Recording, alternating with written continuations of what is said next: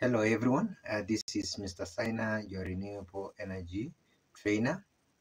Uh, thank you so much for the feedback that I received from the previous video on cost analysis of PV uh, system designs.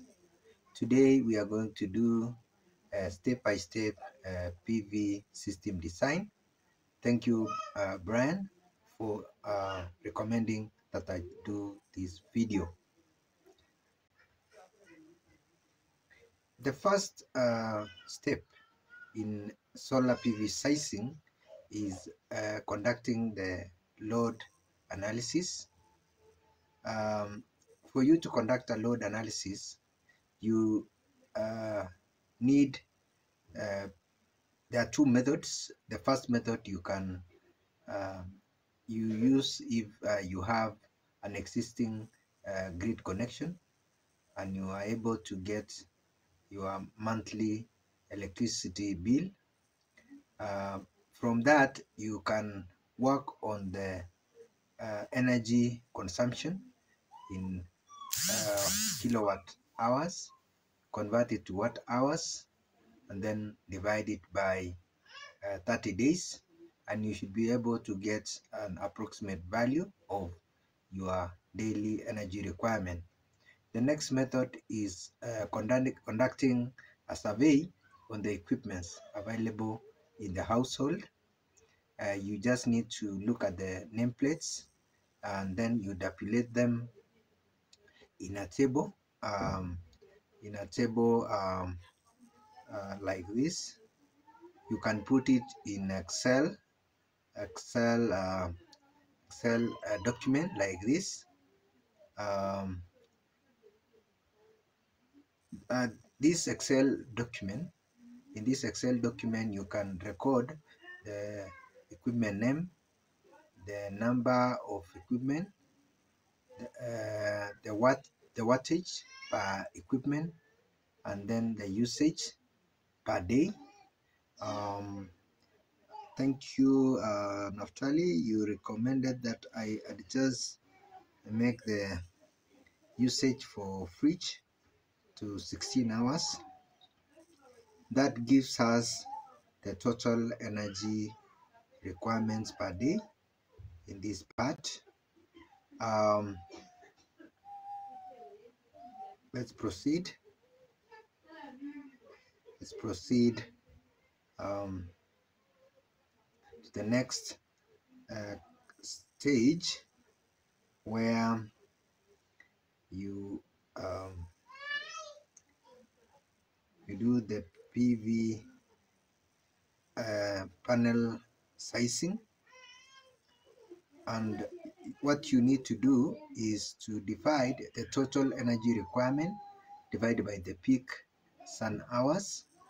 The data on peak sun hours is found from the global uh, irradiance uh, maps. This one is from NASA you can get it also from national meteorological uh, uh, station um, and many other uh, platforms. You can see Kenya is within the tropics and along the equator. Our sun peak sun hours is this range is around six hours. Um, for my town it's between 5.4 to around 6 let's work with 6 for this case. And uh, so that the required wattage per day will be given by 16,050 uh, watts hours divided by peak sun hours where we get the wattage that is required uh, to be 2675 uh, for solar PV systems, you need uh, to compensate for losses. And uh, for this case, we are giving it a factor of 1.35 so that the total wattage to be supplied by our PV panels will be 3611 watts.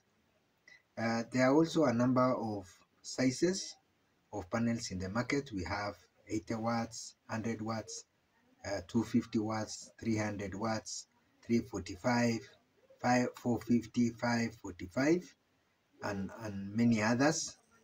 Uh, for this case, we have chosen 545 watts panel from Jinko. And um, the number of panels that we are going to need uh, will be 3611 divided by 545 watts, which gives us 6.63 panels, which we can round off to 7 panels. uh, the next step will be the battery sizing and uh, in the battery sizing uh, we are going to work first by getting the design charge current in AH um, which is given by the required total energy divided by the system voltage. We are going to uh, select a system voltage that would be suitable for our system.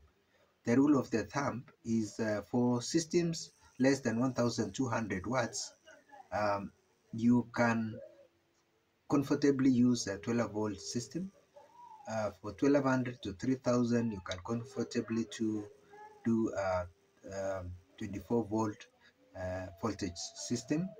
Uh, for systems beyond uh, 3000, um, I recommend that you do 48 volt systems so that um, for our case, if we introduce an efficiency factor of 90%, our battery uh, storage capacity will be given by uh, 16,050 divided by 48 and divided by uh, efficiency factor which is 0.9 which gives us 371 AH.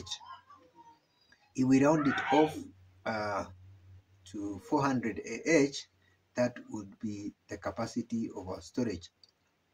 Um, that would be the uh, our our our design charge current capacity. But remember, we need also to uh, select the type of battery. If we choose uh, lead acid battery, uh, we are going to factor in a depth of discharge of 50%. Um, but if it's going to be lithium battery, we can discharge it up to 95%. So for our case, we are going to do 400 AH divided by 0.5 uh, to uh, take care of the depth of discharge where we get uh, 800 AH as our capacity, storage capacity. Uh, this is not still enough. Um, solar uh, energy is is affected or um, is is as um, is affected by change in seasons. Um, during winter, um, our battery might not get uh, irradiance, and we therefore need to give it some days of autonomy so that we can safeguard it from the challenges of change in seasons. So for this case, we are giving it two days of autonomy. It's recommended that we do two to three days. So we choose two days. And uh, our capacity now goes up from 800 AH to 1600 AH after factoring in the days of autonomy. Uh, finally, the number of batteries that we will need will finally be 1600 AH divided by 200 AH. 200 AH is the size of the battery that we are going to use for our case. So we are going to have eight batteries of 200 AH each. And um, batteries come in sizes of, um, especially the lead acid batteries come in sizes of 100 AH, uh, 70 AH, 50 AH, uh, 150 AH, 200 AH, and uh, many others. So for this case, we choose 200 AH, which comes to 8 batteries.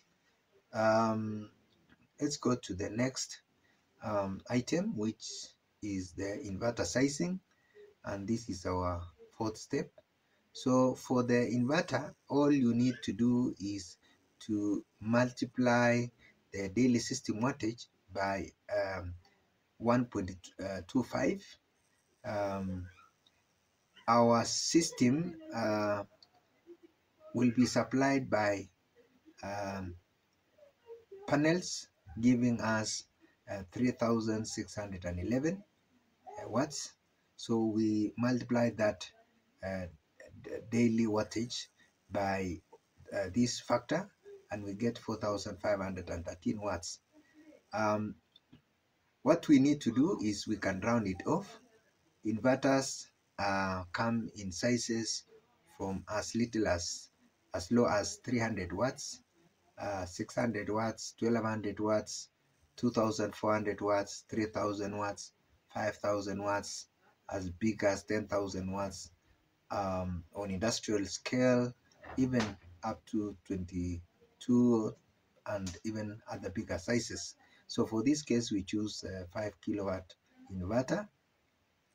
And it is also very important to know the surge uh, uh, the power surge capacity of your inverter so that uh, you can accommodate uh, induction uh, power uh, equipments like motors used in the uh, refrigerators, the water pumps, and the vans.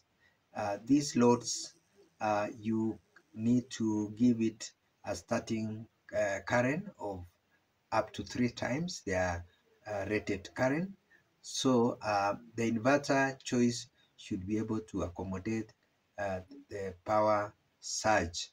Um, the next item to uh, size is the solar charge controller. There are two ways of sizing a solar charge controller. For low, uh, for small systems uh, below um, that that use um, DC uh, loads, with the DC loads like the DC uh, battery, uh, DC bulbs, uh, laptops, and other accessories that you draw directly from the solar charger controller, uh, uh, I will recommend that uh, you add all the DC loads, divide by the system voltage, and then multiply by a factor of 1.25 uh, 1.25. Um, for uh, systems, uh, other systems, um, bigger systems, I would recommend that you use the second method where you use the um, uh, short circuit current. Um, for the short circuit current um, figure is found on the data sheet for your panels. So you go to, you look for ISA, ISC that is uh, short circuit open uh, open circuit uh, current. Uh, for this panel it's 13.944 plus or minus 4 percent. So you multiply it with the number of um, arrays modules modules in the array. For this case we have seven modules uh, so 13.94 times 7 times a factor of 1.25 which gives you uh, uh, which gives you uh, 120 amps capacity uh, solar charger controller. Uh, thank you so much for being my good student today again. Um, looking forward to your feedback so that uh, we can improve our content. Uh, thank you so much. Bye bye.